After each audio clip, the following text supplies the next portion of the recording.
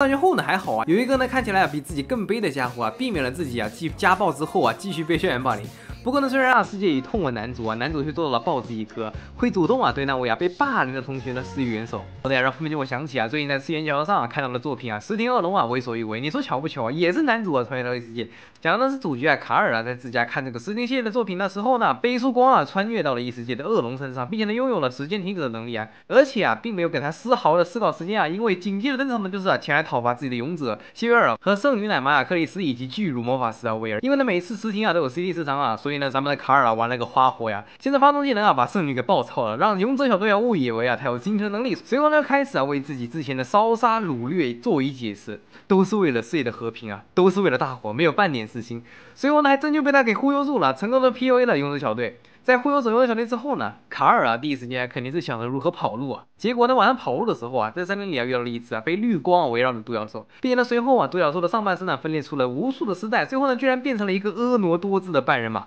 这时候啊，卡尔才意识到，这不就是成人版的这个邪神的世界观吗？看来自己又可以用实际的方式啊，来净化这些成人版的邪神了。于是乎呢，卡尔的异世界狂草之旅开始了。除此之外呢，这篇小说还有别的高质量的动漫同人文以及穿越文呢。喜欢小说的同学呢，可以去了解一下暗影属性。那么之后的剧情呢，如果是一般的复仇番呢，男主呢可能会在啊之后的打怪过程中呢，才会被暗算做掉。但是这部呢，他不一样啊，直接开局就被流放。本以为啊自己曾经帮助过的人啊会施以援手，结果啊没成想，不仅不帮哎，还要凑上。